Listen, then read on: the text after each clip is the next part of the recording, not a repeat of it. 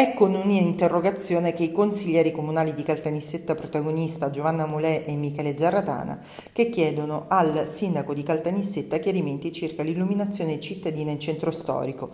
Vogliono sapere se l'amministrazione Gammino abbia in programma il potenziamento della rete di illuminazione pubblica nelle strade del centro, che i due consiglieri definiscono spettrali.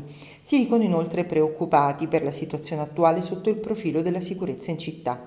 Evidenziano inoltre che da decenni non vengono progettati e quindi realizzati impianti, modifiche e potenziamenti della rete di illuminazione e si chiedono se sia previsto nel piano annuale delle opere pubbliche qualche intervento e quali convenzioni sono attualmente in essere con le ditte private per la gestione dell'illuminazione e quali scadenze hanno soprattutto se prevedono interventi di nuove installazioni e potenziamenti. Abbiamo così contattato sulla questione il sindaco che replicherà all'interrogazione in sede istituzionale.